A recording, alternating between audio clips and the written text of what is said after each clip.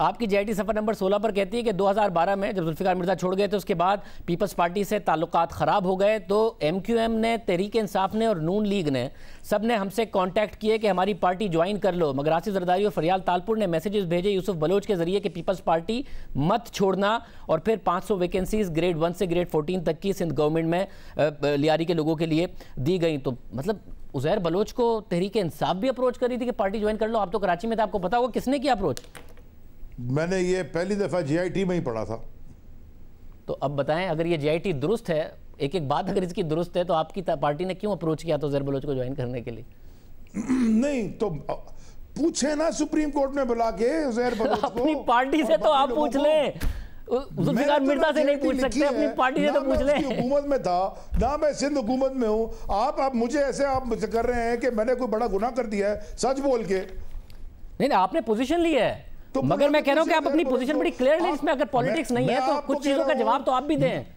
एक सेकेंड तो आप मुझे बताएँ कि फिर कहा साजे फिर मैं आपसे पोजीशन जो आपने ली हुई है उसमें सवाल करूँगा तो आपको भी जवाब देना होगा।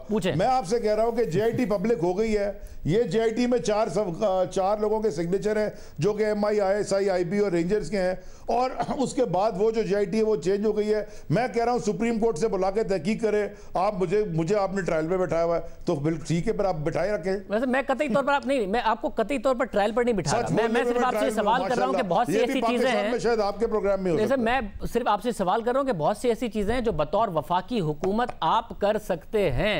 अब ये तो नहीं हो सकता ना कि फरोग तो नसीम साहब पाकिस्तान को बताते थे फरोग नसीम साहब कि नेल्सन मंडेला के पाए के लीडर हैं अल्ताफ हुसैन साहब। अब वो आपकी काबीना में जब दिल चाहता है निकल जाते हैं जब दिल चाहता है अपनी मर्ज़ी से वापस आ जाते हैं। इतनी ताकत है उनकी। एम के एम आपके पास हो जुल्फ़िकार मिर्ज़ा आपके पास हो तो कुछ सवाल जो आपके अख्तियार में हैं जिन लोगों से आप सवाल कर सकते हैं मैं सिर्फ़ ये बोल रहा हूँ कि आप सारी ज़िम्मेदारी सुप्रीम कोर्ट पर ना डालें। बहुत सारे सवाल वजी आज़म कर सकते हैं इदारों से भी इत्यादियों से भी। हो सकता है उन्होंने किए हों और सब चीज़ें आपको बताने की नहीं हो। आज सुबह उन्होंने बताया कि मैंने पूछा था जब आपको कहा कि प्रेस कॉन्फ्रेंस कर दो जाके। मैंने उन्होंने कहा कि मैं प्रेस कॉन्फ्रेंस करने जा रहा हूँ ये चीज़ें लिखी उन्होंने कहा करो।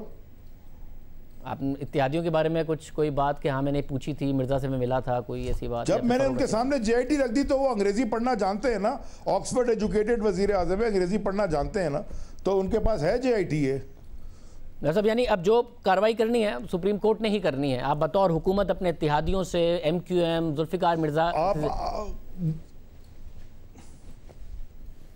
कार्रवाई इसीलिए मैं तो अपील कर रहा हूँ सुप्रीम कोर्ट से कि कार्रवाई करे।